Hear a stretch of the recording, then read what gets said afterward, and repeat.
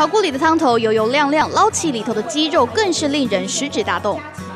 除了鸡酒香喷喷，一旁的白斩鸡外皮金黄油亮，最能吃出肉质原味。新竹县政府举办第一届客家鸡酒料理大赛，鸡组养鸡协会的会员不止 PK 料理，更要比谁养的鸡最好吃。都是我们在地的呃土鸡，包括我们的竹北仿鸡、黑鱼土鸡、呃跟红鱼土鸡等等哈，还有珍珠鸡，都是我们的新竹县的特色鸡种。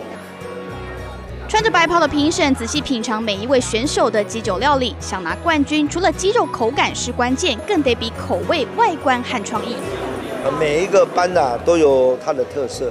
呃，差的分数就是很小很小，这也是我们客家美食里边的鸡酒啊，可以说是非常非常的好吃，同时有名啊，同时营养价值高啊，同时就是是在地的土鸡。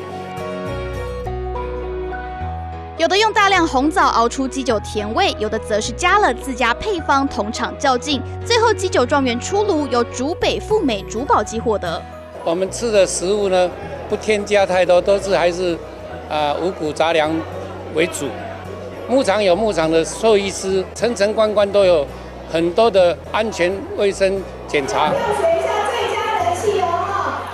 在食补，天冷吃暖身，天热吃过瘾。好吃的客家鸡酒就在新竹。